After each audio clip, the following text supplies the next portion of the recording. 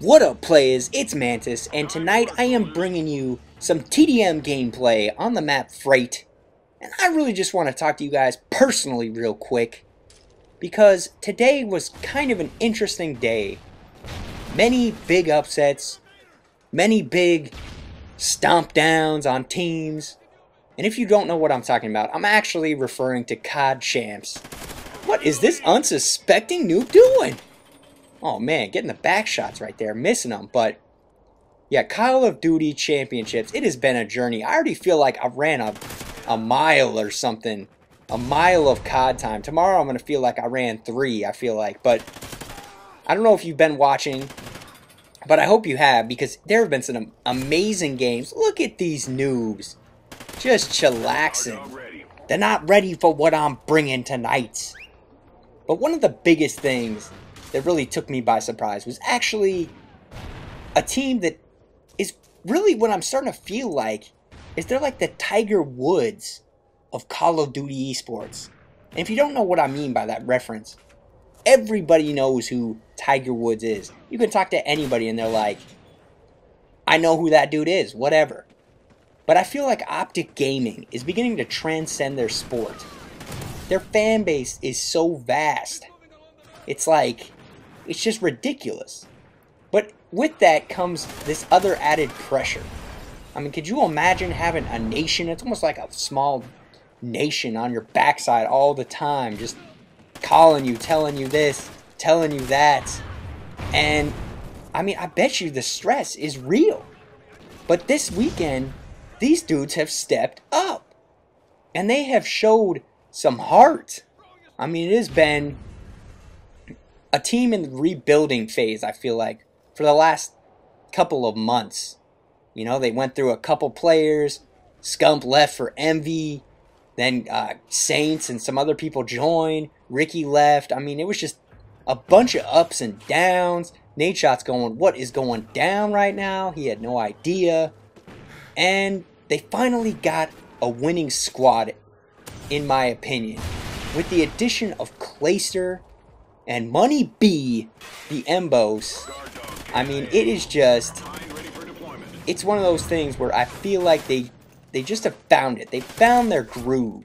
And hopefully tomorrow they will continue with the domination because they are already guaranteed top three. They've solidified their name in the top three teams of Call of Duty around the world. And there have been some battles. I mean, it was just I feel like you watch some people and it's just like it's kind of boring. But when you watch Optic, I don't know what it is. They can't help but bring you in. It's like watching Tiger Woods. You just know it's it's on the verge of being so good, but at the same time, what is going on? Is it even right? It's it's almost wrong at times. You feel like you're you're invested in something when you're watching them. And so that's kind of a, a strange situation. Just to give you the play-by-play, the -play, the playback, Optic this morning had their their pool play match, the first one of the day against Epsilon Esports, and they lost the game. Of course, the green wall is standing strong, but everybody else is already, the haters coming on strong.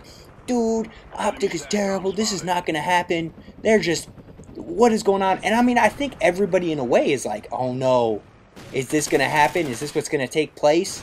It's not going to go like that, is it? And I honestly think the best thing that could have happened to those guys was a loss at 8.30 in the morning to get them just psyched, to get them ready, prepare them for what was coming. And so after that, they go on to 3-0. That's right, 3-0 Team Kaliber. A team that had not even dropped a match or sorry, even dropped a round leading up to that game. So that alone is already like, all right, I'm feeling it now. This is this is that was exciting because they just laid down the law on those kids, and I was kind of like, I mean, I I was a fan of Team Kaliber. I mean, I. But when it comes down to optic, you're like, you're not going to go against them. It's just, it's impossible. So, anyway, it goes down to that. Then they go up to face SB for top six. And they start off strong in that game too. I mean, it was like they go up 2-0. Quick, real quick, just easy victories. I mean, not easy, obviously, but, you know, well-fought battles. showing their dominance, and then it gets interesting. They lose two games. And in the middle of, I believe it was their domination game on Sovereign, and Clayster and Nadeshot got into it. I mean, you could tell through the through the booth windows. I mean, you obviously can't hear what's going on inside there, soundproof booths and all. But you could just tell on their face something was it had upset them. And you're going, "Oh no. What is this? This isn't going to be the this isn't going to be the nail in the coffin, is it? This they got to move on. They got to keep going. They can't let a silly argument ruin their vibe. Just throw their COD champs, you know, dreams out the window. And sure enough, they lose that match. Then they go on to lose a blitz game. And you're like, oh man, so it comes down to a game five. Going down into the final rounds. They have to take it. It's a oh, it was another S&D, of course. And it was on Warhawk.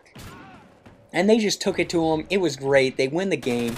It was absolutely amazing. Great to see. But the end of the day, what I learned from it was, my goodness, this team is good. This team is fun to watch, enjoyable. I mean, you almost, when you're going through that, I mean, all these game fives and, and series, you kind of learn to just enjoy this team. It's like, you know, I, I wasn't so sure about MBoZe or anything else. I was like, oh, who's this kid? I don't, who is this Money B? But at the end of the day, I mean, that kid's awesome. He just, he holds it down. He's nice and quiet. I like that. Clayster, loud, that vocal leader. It's great. Nadeshot, of course, the the unsung hero, or maybe the sung hero. I don't know. I mean, he's got million subscribers on YouTube. What more do you need to know? And then, of course, the Scumpy, the mastermind of destruction, the king. So, at the end of the day, that's what you learn. I mean, it is just, it has been enjoyable to watch. I hope you guys tune in tomorrow. Complexity Live versus Optic. It's going to be the winner's match who will go on to the grand finals. It is going to be crazy. They're already guaranteed top three. So one of those teams will be in the finals, the grand championships, going on to win the $400,000 in the million dollar Call of Duty champ. So I hope you guys enjoyed this video. And if you did, leave a leave me some feedback. If not, it's all okay. But tune in tomorrow, MLG.TV. If you're interested in checking out these games, it will be sure to amaze. But I hope you enjoyed this. This has been your boy Mantis. Talk to you later. Peace.